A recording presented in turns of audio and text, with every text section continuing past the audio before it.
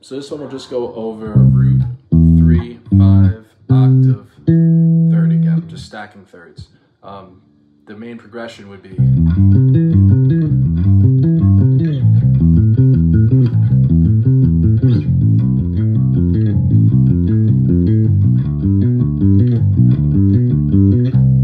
So the first one is major, it's on C. So we're gonna do eight, seven, eight on the E, seven on the A. Then you're gonna slide up and you're gonna come up to here to 10, 10, 9. So the first two before your hand shifts, then shift up a whole step.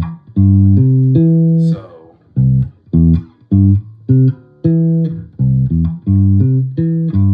And you're gonna repeat that second phrase. That's the whole thing. And you're gonna come down here to A, fifth fret on the E string. Index finger, slide up and use your um, middle on the eighth fret. Seven, seven, and then pinky on the ten. So.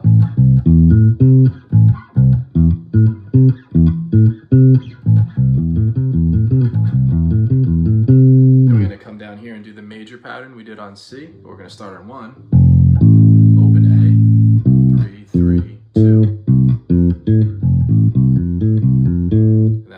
major just on the G, starting on G on the third fret. Same pattern.